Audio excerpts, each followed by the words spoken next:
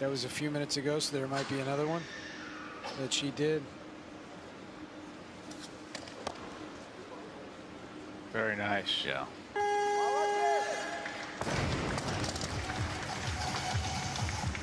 Also looks good for more.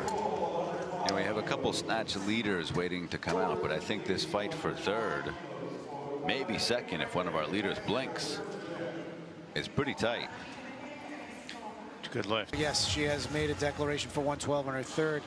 Now a four kilo jump for Vostrikova of Russia. Second attempt. Oh, Bit in front. Got- yeah, I think she got behind the bar a little bit. No, Few of them. The jury can't see it. you didn't see that. If you did, you would have said it. I So was no. I didn't see that.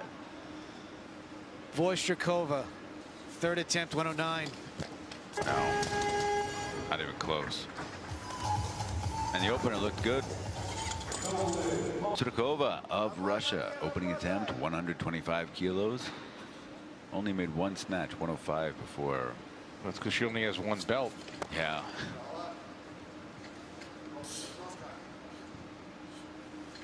She's a tall. She's a tall athlete, so I would imagine she's going to struggle a little bit in the clean and jerk. Yeah, it can be more challenging, and it was challenging there here at the Pan Am Championships. I bet she has that number in mind. Right now, second attempt for Russia's Maria Vostrikova. First one didn't go so well. Good clean. Relax the arms. Much better. Yeah.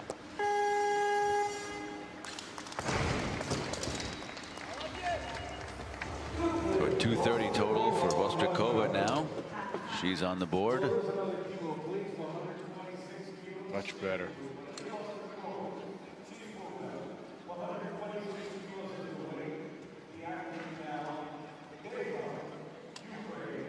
Drakova struggled on her opener, made 25 on her second. Now four kilos up, 129. Come on. Oh, good clean.